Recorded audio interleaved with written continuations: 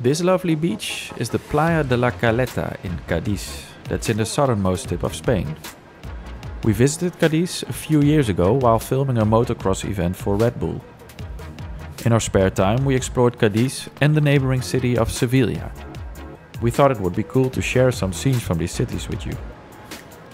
Let's head over to Sevilla first.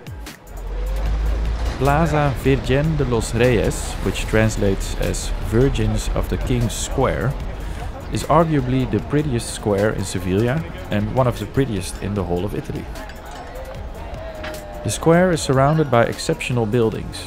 The cathedral and Giralda Tower right in front of you, the Archbishop's Palace, which you can see on your right, and the old hospital of Santa Marta.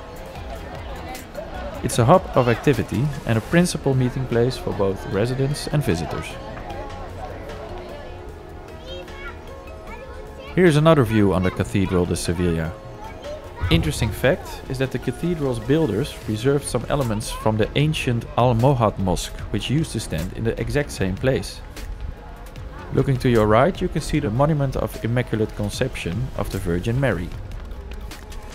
Each year on December 8th, during the Feast of Immaculate Conception, this monument becomes the center of costume celebrations.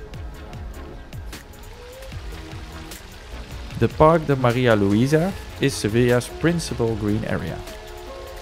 The park is home to many monuments and numerous ponds and fountains, like these ones. The north side of the park is home to one of the most famous squares of Sevilla, the Plaza de España, which we will visit next.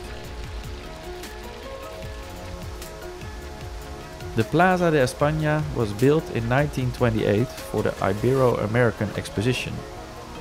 It is a landmark example of the regionalism architecture, mixing elements of Baroque, Renaissance and Moorish revival styles of architecture. Perhaps the square made the most fame as prime location for Queen Padme's home planet of Naboo in Star Wars The Phantom Menace. A very underappreciated film in my honest opinion. But anyways, let's go back to Cadiz.